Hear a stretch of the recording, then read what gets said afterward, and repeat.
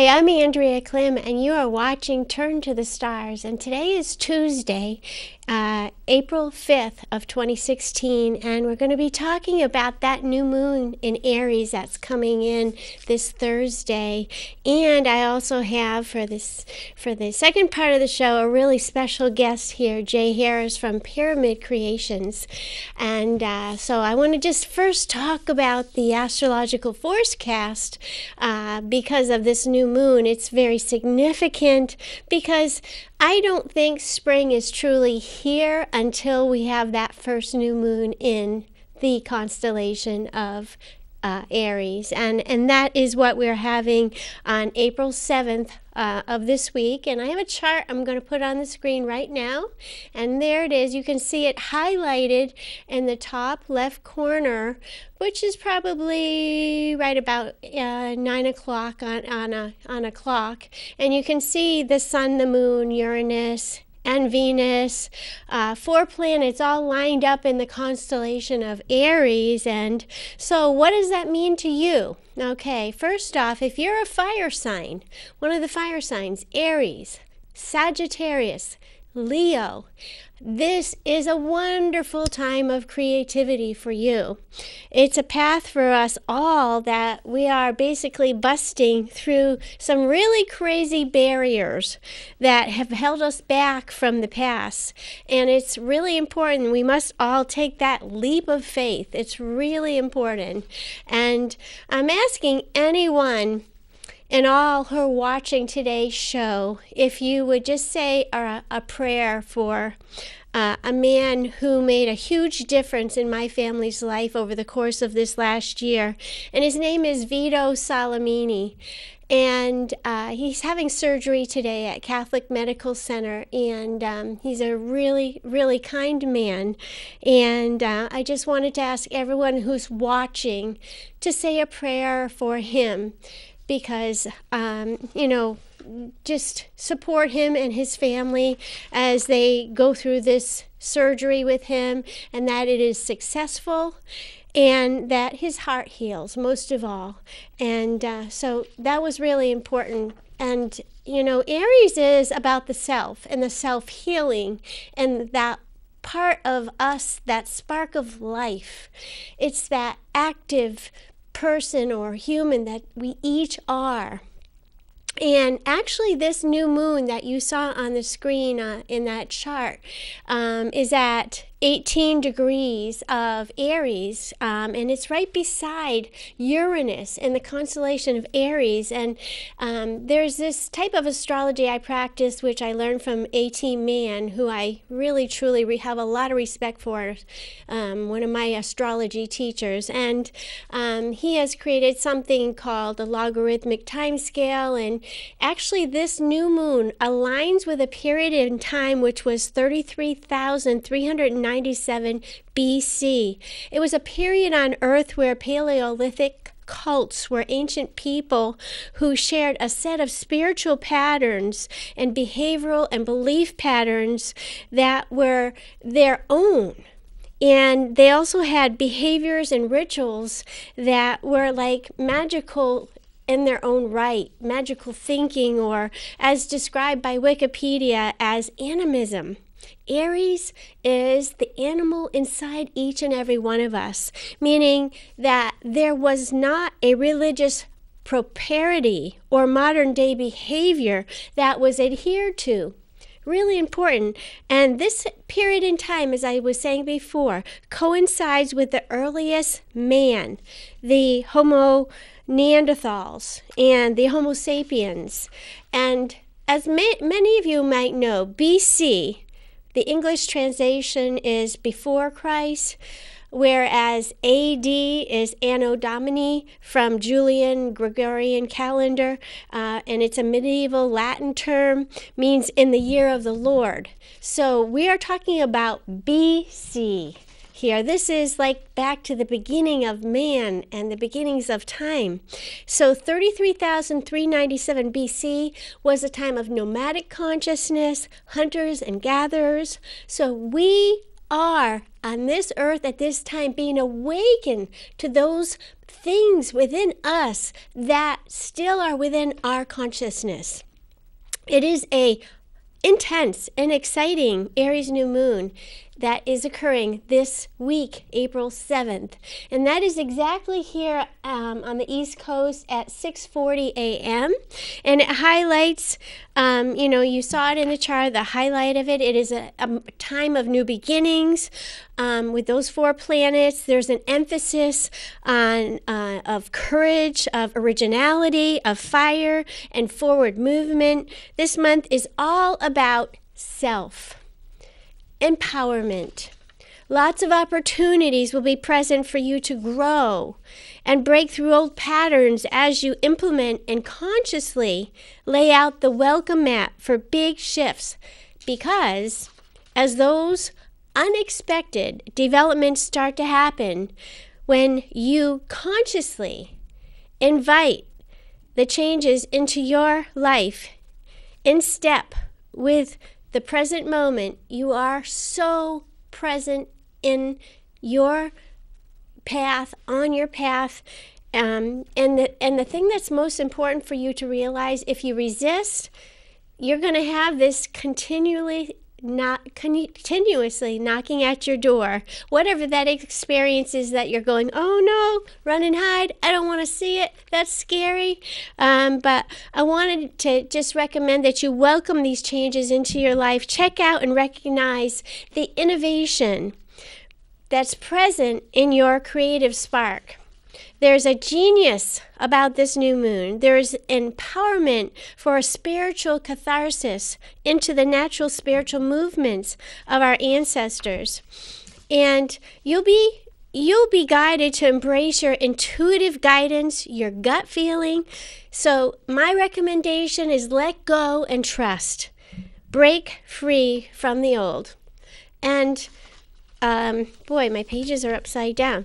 Um, it, it, and you know, the one of the most important things, as you heard me say earlier, is that this Aries new moon brings a spring. You know, it influences a spring in our step. It's, you know, in the springtime we get excited, we want to get moving, we want to get outside. That's Aries. That's that energy. There's this emphasis on renewal of relationships, lots of possibilities to create something new, meaning meaning that endings, new beginnings, it's okay. It's time for this movement to happen. And it's so interesting when I looked at that chart that I showed you earlier on the screen. I could flash that on there again, John. That'd be great. Um, we can see that the sun the moon, which are really luminaries, Uranus, Mars, and Saturn are all in fire signs. And so that means that there's a focus on shifts and breakthroughs. You'll be seeing things very differently. There's a major emphasis that is put on feeling a thrust of energy moving in of moving into action, taking action, moving, doing something. And that will be with a purpose, with a fire in your heart. And so, all month long of April, there's an emphasis on intimate one on one relationships and balancing those with time alone for yourself as well. Very, very, very important. April is about achieving a balanced change between two people and sharing through the heart. And so boundaries are important, but also that one on one and the balance and that fire of connecting with each other through the heart. Um, one of the things that I just want to point out before I bring Jay onto the show is that the sun and the moon in Aries are squaring Pluto also, and uh, in that chart, and that symbolizes that there's this deep penetration into your subconscious, and to get deeply and emotionally engaged in something, tune into your heart and find love in anything that shows up in your life. The other thing that I want to point out real briefly was that over the last three years, we've had Pluto and Uranus squaring each other, and it is actually had made a square seven times. And so um, this square is being triggered by this new moon, which means that you're wrapping up business issues and themes that have been merged or have come into your life and that you've worked through and that you've um, overcome. And so things that have come in pa- over the past three and a half years are being, con- you know, you're leaving them behind. This n- new moon also triggers a strong need for rest. April 7th, Make time for yourself to get some rest, whether it just be a couple minutes alone, quiet, serenity. And then one final thing, and then I'm going to invite Jay on the show, is there is a trine by this new moon to Saturn in Sagittarius. And what it means is that you can manifest you can manifest some beautiful things. And by that, I'm going to introduce Jay Harris from Pyramid Creations onto the show. Welcome, Jay. Thank you. Uh, so I'm so glad that Jay is here with us today. As you can see, uh, in um, this is something that Yep. this is what Jay makes. That's a that's a tetrahedron pe- uh, orgonite piece. it's my favorite. That's a that's an older one too. I I think I'm up to like uh, 800 and some odd pieces now. wow. So, wow. Wow. That that's one of my.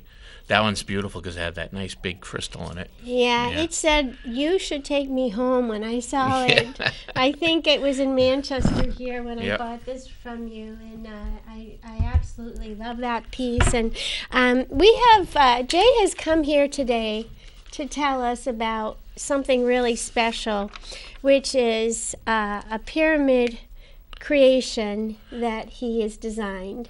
Yeah. Um, I I started making um, copper pyramids that you can actually um, get inside of it. And um, what I did is put an orgonite pyramid on top, and there's also it's hard to see in the picture, but there's actually I made an orgonite uh, pendulum that hangs inside. So you get the, the energy from the pyramid, and then you get the energy from the orgonite or orgone pieces, and um, it's very powerful. And we have a picture that if we could put that on the screen so that we can, uh, uh, there it is. There's Jay. There you are, Jay, Yeah. inside your pendulum. Yeah, I was I was relaxing, uh, kind of. Um, I I couldn't. The, the energy was so strong that day that I had to get out. I, I my wife took the pictures and I, I said I'm out of here. So when we do the show, I'm only limiting people to like 10, 10 minutes at first, and if somebody would like to come back. Um, afterwards, when everybody's done, um, they're welcome to if they feel they didn't get anything out of it. But it definitely, uh, if you're sensitive to any kind of energies, you're definitely going to feel, um, you'll feel it, believe me.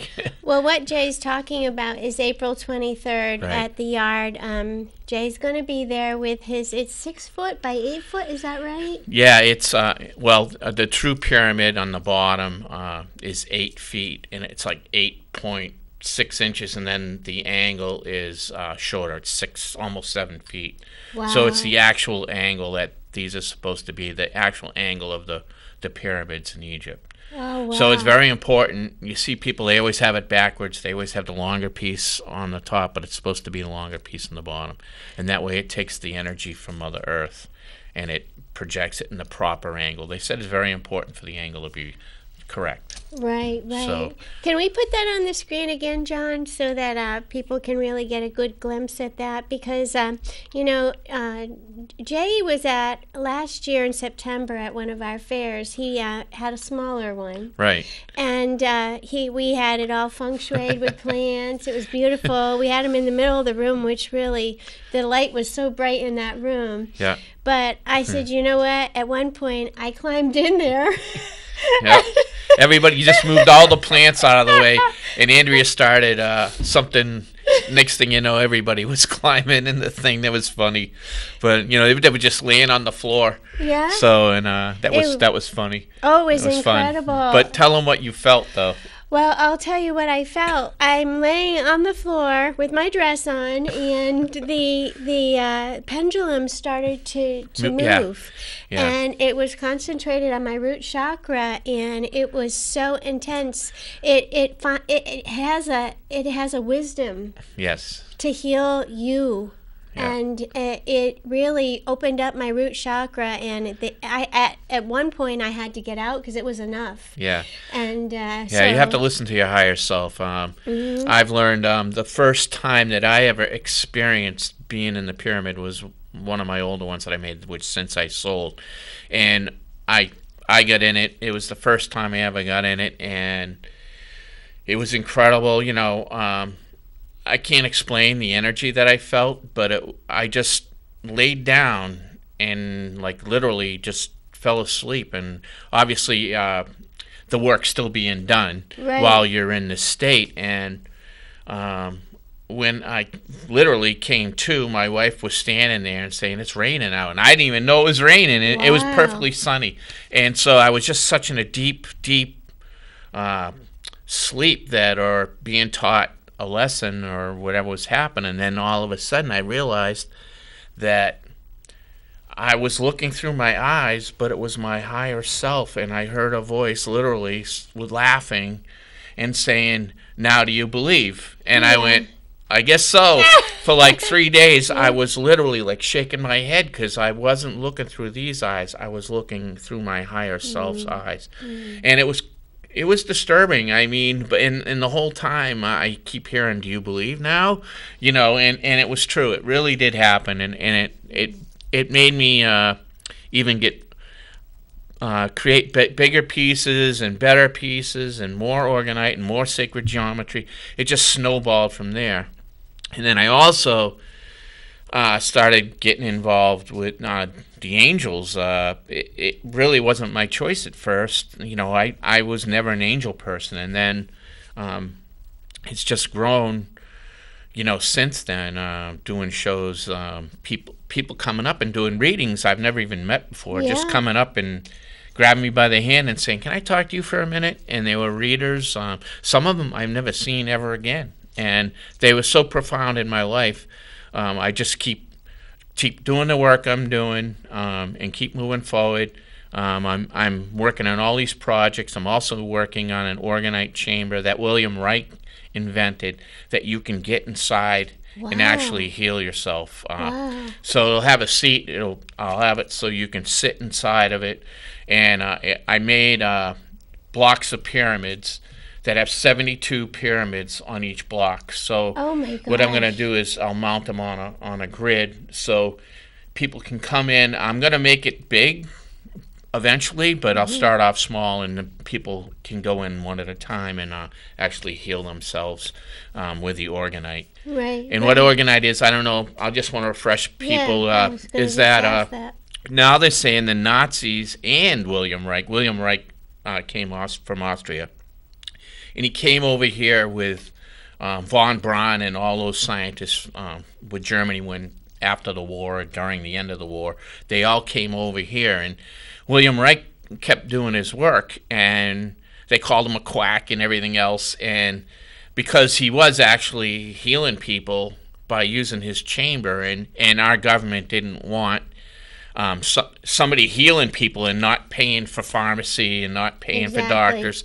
So they basically took all his stuff and all his uh, his writings and burnt them. Oh, So I don't think many people know about that, but they actually did. And so I believe it. it's kind of uh, like I was reincarnated, or maybe he, he's given me some help along the way. Um, with, like I'm, I'm I'm doing his work, carrying it on. It, that's what it seems like to me. Well, you know, the world is so much more open now. People are so much more aware that there's other things rather than just the traditional, straightforward medic- medicine. Mm-hmm. We are a spirit, a soul, a mind, and a body. Mm-hmm. And I'll tell you what I felt when I was in Jay's pyramid. I was like, wow, this is awesome. I felt like I was being, I said, I think I said when I came out, I just got beamed up, you know? it definitely feels like that. Um, Yeah. That's why I'm only, you know, like I said, I'm only limiting uh, people for 10 minutes. Mm-hmm. Um,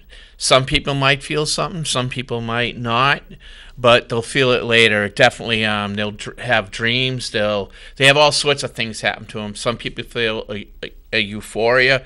Some people, uh, you know, feel cleansed. I mean, it just does different things for different people. But the the pyramid itself is a healing tool um, that connects with Mother Earth, Yeah. and it pulls the the orgone energy from the earth, and that's what the pyramids were designed for, um, is to help heal people and teach them about themselves. Right. And that's kind of what I'm doing with with this pyramid is inviting people to come in and give it a try. I mean, um, you know, I've had all sorts of people. Uh, my acupuncturist bought one for her backyard.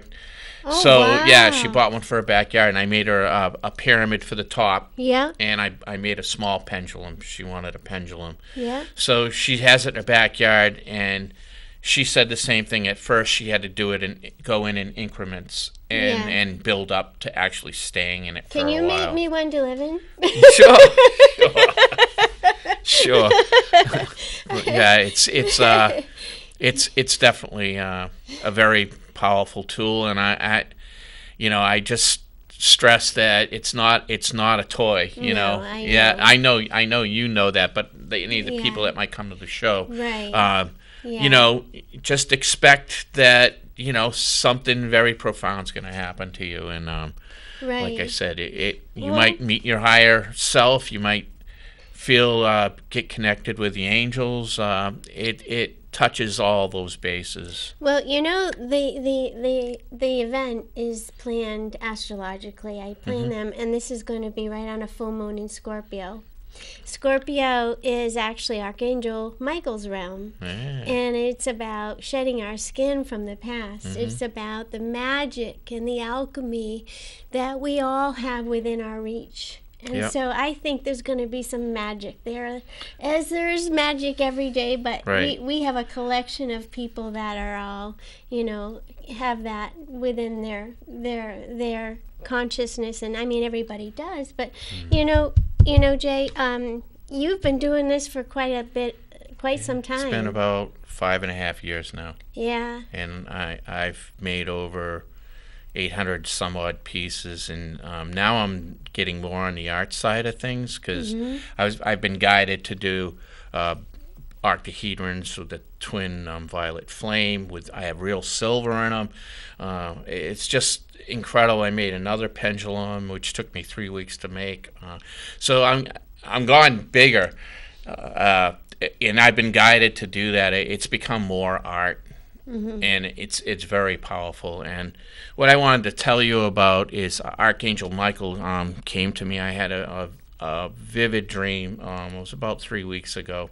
It wasn't a dream. It was an actual uh, experience where he picked me up, and I just kept going up, up, up, up, up in, into the stars. It was different than the stars we see. It's more. It was more like a an aqua dark blue with just stars everywhere and he just kept bringing me up up up and all of a sudden i saw his wings wrap around me now at the time i didn't know it was archangel michael Yeah. and he wrapped his his arms around his wings around me and he like turned me and, and put me face down in water Wow. and then took me out and then put me back in the water mm. and then when i was looking in the water there was stars everywhere oh. and then I came back into my body and I just said, wow, I, I was sat up in bed and I went, did that just happen? And uh, so I, I, it's really funny. Um, the angel connection started with Archangel Raphael. Then it went from to the to Metatron, Archangel Metatron, helping me with the sacred geometries, and then it it went to Mike, Archangel. I call him by that name, Michael, because I feel like I have a personal relationship with him at this Yeah. point. And then uh, you know, it just it's grown. Um, now I- in my prayers, I just don't say. Thank you, God. Thank you, Jesus. Jesus came back into my life recently too, which I Me asked too. him. Yeah, some a reader told me. I said, "Why did Jesus come back into my life now?" And she said, "He was moving aside so that you could work with all these other angels yeah. and with all these other um, personal angels and guides in my higher self. Not only do we have our being as a spirit learning how to be a human being, where we also have a higher self, which you want to call your own angel or your higher self, and they're always there. All you have to do is ask them, and they will. They're there. And when you have trouble, when you want to pray, you you talk to them. Um, And they are. yeah, they are. yeah, they are there. I was never ever an angel person. Um, this all started like I don't know what three and a half years ago for me, and it's been an amazing, amazing, amazing journey. So Well, well, you I know, just had to share that. No, I'm I'm glad you did because uh, that those type of experiences are meant to be shared, Hmm. and we're meant. You know, I I truly believe that. You know, all you have to do is say, you know, in those times of despair, walk through this with me, and you will feel the strength. Yep. And and uh, and what you're doing right today, yeah, I, I, I do as well. But I I can't wait to. I'm making a point. I'm not. I'm gonna not be doing reading, so I can come over and get Well, in. you're always welcome in there.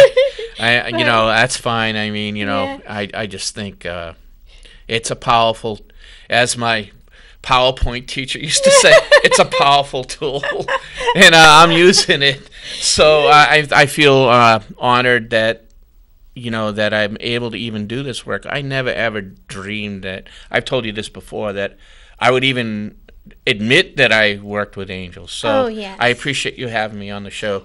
Namaste. I really Oh, appreciate it. Absolutely, You know, Jay. bless Well, the God in you. So We're gonna we're gonna Yeah. have to have Jay come back on Yeah, the show sure. again. I'd. Everyone, I want to say thank you for Yeah. watching and tuning in to Turn to the Stars, and I want to wish you all well. And remember, turn to the stars, and you'll find your answers there. Take good care. I'll see you next time.